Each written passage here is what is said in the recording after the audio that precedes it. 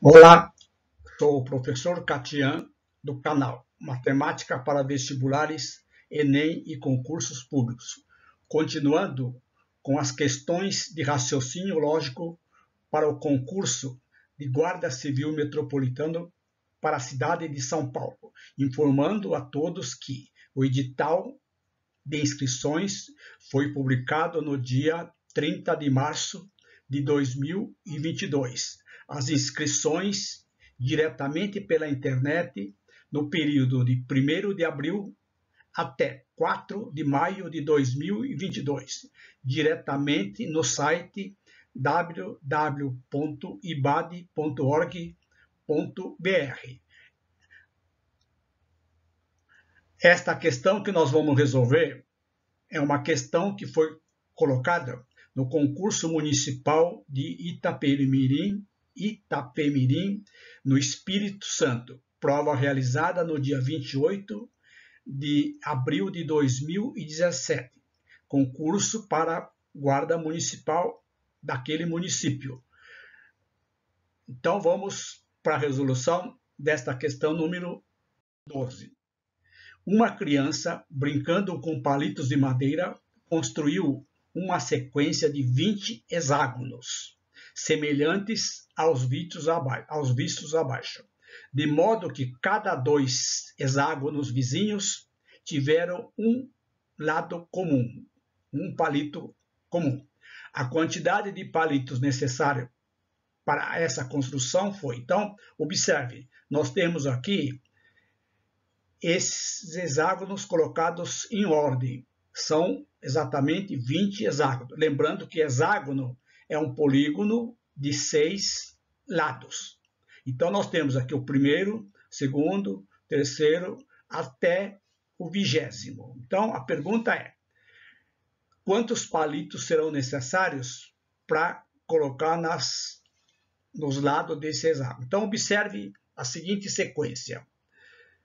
Para esse primeiro hexágono, nós temos aqui exatamente ó, um, cinco palitos. Observe. Um, dois, três, quatro, cinco.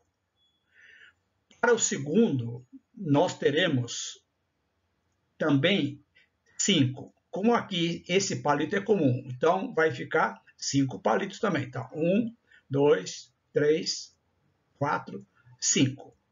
Para o terceiro palito, também nós teremos exatamente cinco.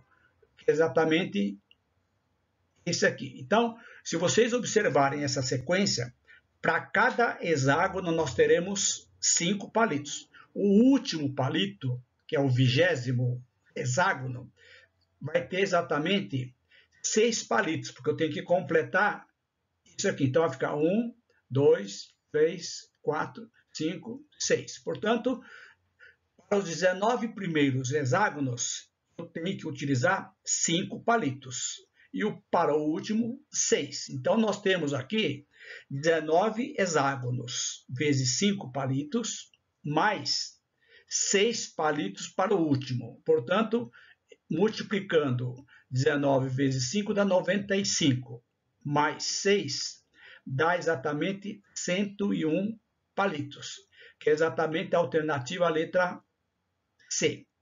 Aproveita, faça sua inscrição no meu canal Ative o sininho para receberem as notificações das demais videoaulas de raciocínio lógico matemático para o concurso de Guarda Civil Metropolitano, cuja elaboração fica a cargo da Fundação IBAD. Gostou? Dá um like. E vocês que estão estudando para esse concurso, cujas inscrições já se encontram abertas a partir do dia de hoje, primeiro de quarto e se estendem até o dia 4 de maio de 2022, acessem a playlist Concurso Guarda Civil Metropolitano. O link está na descrição da videoaula.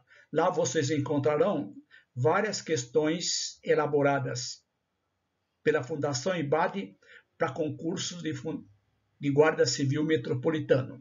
Espero que tenha gostado e até as próximas.